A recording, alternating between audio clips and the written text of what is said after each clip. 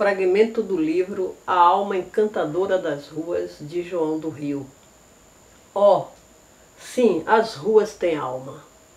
Há ruas honestas, ruas ambíguas, ruas sinistras, ruas nobres, delicadas, trágicas, depravadas, puras, infames, ruas sem história, ruas tão velhas que bastam para contar a evolução de uma cidade inteira ruas guerreiras, revoltosas, medrosas, esplenéticas, snobs, ruas aristocráticas, ruas amorosas, ruas covardes que ficam sem pinga de sangue.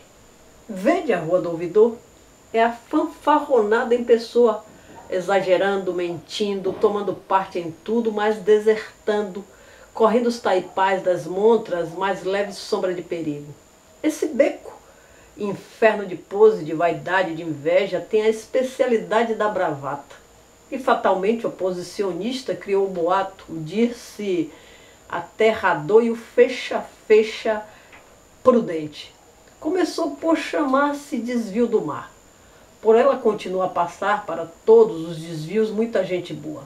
No tempo em que os seus melhores prédios se alugavam modestamente por 10 mil réis, era a Rua do Gadelha, Podia ser ainda hoje a Rua dos Gadelhas, atendendo ao número prodigioso de poetas nefelibatas que infestam de cabelos e de versos.